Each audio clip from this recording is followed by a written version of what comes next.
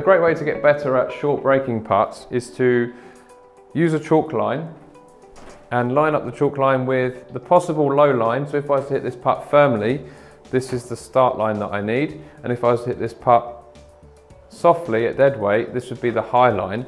And I've lined up the chalk line with each of those start lines. And then I'm gonna get better at matching my speed to the chosen line. So different scenarios on the golf course, I might need to hit the putt firmly or softly, and I know that I can do either. So I'm gonna have a go at the first one, the firm line. I have to hit this one pretty firm to match the chosen start line. And on this one, I have to hit it pretty softly.